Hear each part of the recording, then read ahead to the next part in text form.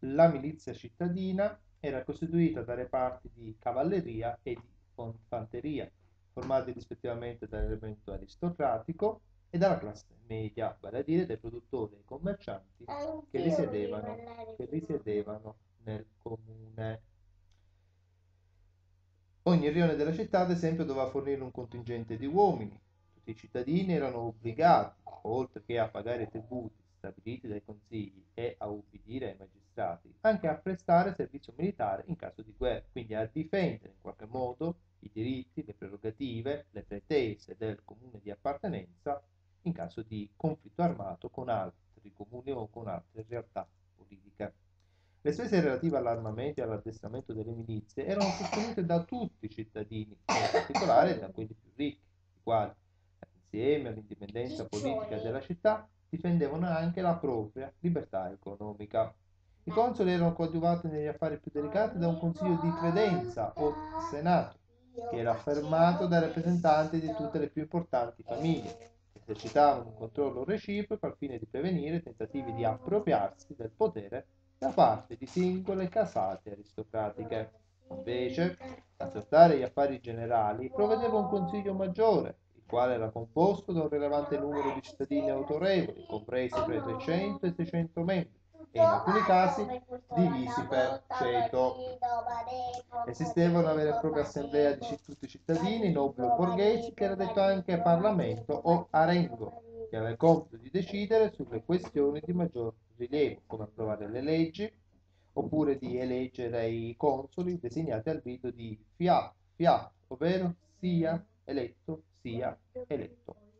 E con queste poche annotazioni, poche indicazioni, noi terminiamo l'esposizione riguardante il comune consolare e passiamo invece alla seconda tipologia di comune, vale a dire il comune podestarile. Tra la fine del XII e l'inizio del XIII secolo i comuni consolari entrarono in crisi, cioè in qualche modo esaurirono la loro spinta propulsiva e dunque dovettero cambiare, mutare, modificare il proprio assetto costituzionale, vale a dire la il particolare organigramma, la particolare tipologia di leadership politica del comune. D'altro canto, da un lato l'arricchimento della borghesia, i borghesi, cioè i ceti produttivi del comune, dall'altro lato l'espansione territoriale che il comune aveva nel tempo, durante i vari secoli, compiuto a danni dei territori circonvicini, e dall'altro lato ancora le lotte interne al governo consolare, il quale appariva troppo condizionato dagli interessi di certe famiglie aristocratiche, assistiamo cioè a una vera e propria lotta per il potere politico, finirono a poco a poco per inasprire i conflitti all'interno delle città, rubandone la vita quotidiana e finendo con l'ostacolare lo sviluppo economico e mercantile del comune stesso. Anche l'efficienza delle pubbliche istituzioni alla fine ne risentiva e l'amministrazione stessa della giustizia era divenuta sempre più faziosa, cioè parziale di parte e dunque anche corrotta.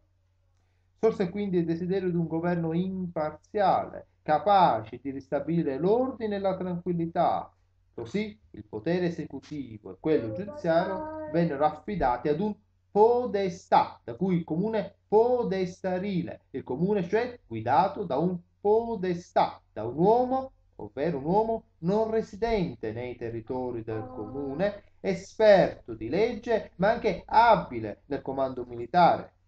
Ora,